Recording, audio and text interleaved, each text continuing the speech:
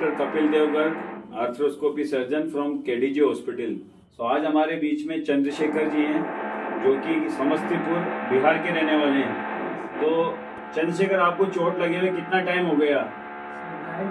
तेज बोलो।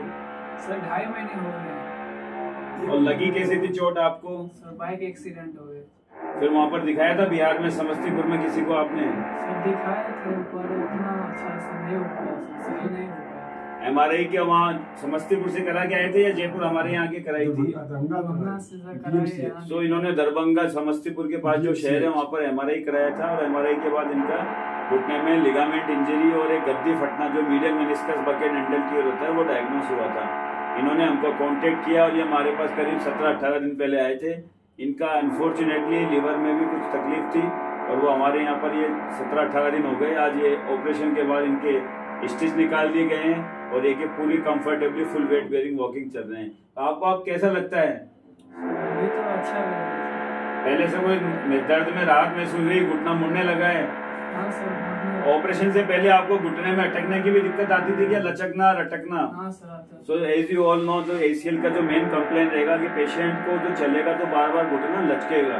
और जो निगाम मेनिस्कस है जो शोकर है गद्दी है उसमें क्या रहता है कि घुटने में अटकने की प्रॉब्लम रहती है तो हमने इनका एसीएल रिकंस्ट्रक्शन किया है दूरबीन द्वारा और मेनिस्कस रिपेयर किया है। So, आप एक बार चल के बताएँ पूरा वज़न देके चलो।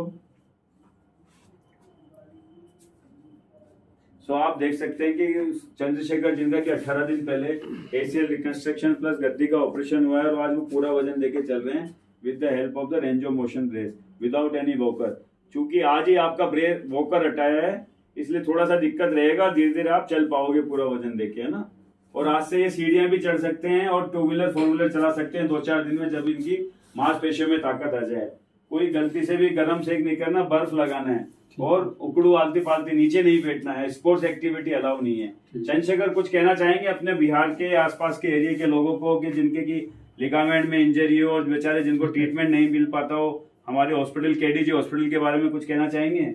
इनके फादर भी है साथ में वो कुछ कहना चाहेंगे बताओ? पर डालेंगे ना इसको? हाँ। डालेंगे। लोग ऐसा होगा मैं लिखता हूँ उसको बताऊँगा। तो आप खुश हैं हमारे हॉस्पिटल के एनवायरनमेंट से कि आपका ऑपरेशन अच्छा हो गया है?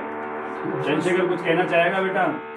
सर अगर मेरा कहना अगर किसी आप मतलब आप लोगों को होता है ऐसा कुछ तो आप यहाँ आकर करवा सकते हैं, केडीजी हॉस्पिटल। अच्छा यहाँ पे सब कुछ। हमारा नंबर लिखा हुआ